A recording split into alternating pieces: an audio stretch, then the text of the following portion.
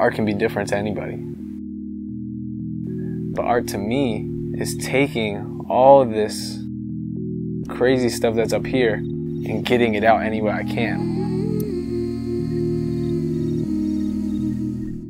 Creativity is that craziness in your head. That's creativity. Doing something differently than how it's supposed to be done, that's creativity. Don't be scared to mess up.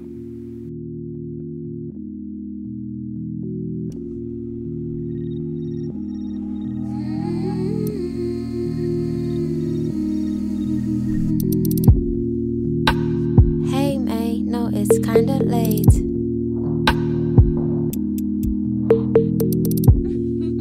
Maybe I just miss your face. How does it taste to sprinkle all your words in April showers? Remember when we used to speak for hours, for You know, the hours? blending of flavors, spices, the way things are grilled, charcoal, seared. It's, that's a that's an art in itself. You know, blending together spices and, and rubs and different things, creating something that tastes delicious is art in itself. And the fact that different cultures have their own way of doing it is something special.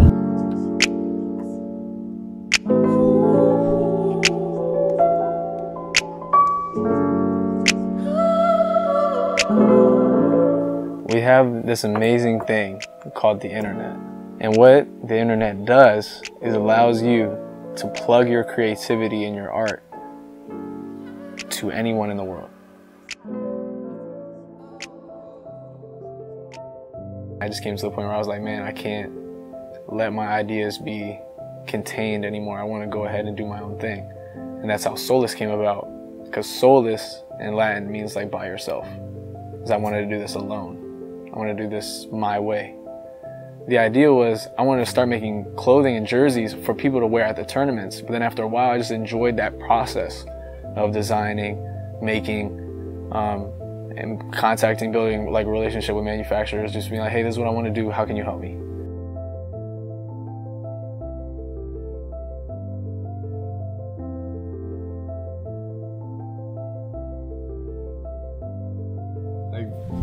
This is to me i love wearing this t-shirt like when i go out i just like wearing it's a simple white t-shirt and it's not doing too much it's not like you try and match it with something? Or you try and throw on something to try and impress somebody? It's like a very just subtle t-shirt it's just white t-shirt with green dots on it. But the gray dots reflect. So when you actually shine a light on it or you take a picture with a flash on it looks like a thousand diamonds dancing. Diamonds diamonds diamonds diamonds on me. Next came the jackets. Came like this snake skin inspiration. Um, I was like, man, how tough would it be to throw like some snakes in on a jacket? Then you have like different materials. This is a lot different than this. Um, I like this material a lot more. It's actually waterproof. But as of late, I really like wearing this because this is like the first one I ever designed, and it's like the gold and the red and the white. Like it all came out really nice. But why do I get up every morning and do this? I get my my ideas out, and when I keep them pent in, I always feel like, what if? And I never want to ask myself, what if I did something? What if I made clothing? Maybe I could have made a million dollars. It's like why ponder it? Why don't you just try it and see how it goes?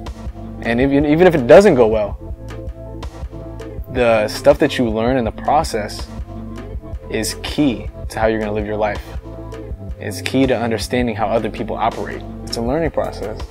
And it's always more important to learn something new every day than to kind of sit back and stay safe. You never want to be safe. You always want to push the boundaries. I mean, be safe. Always be safe. Don't drink and drive. You know, don't text and drive. But um, you never want to. You never want to cut yourself short. Thank you. Thank you.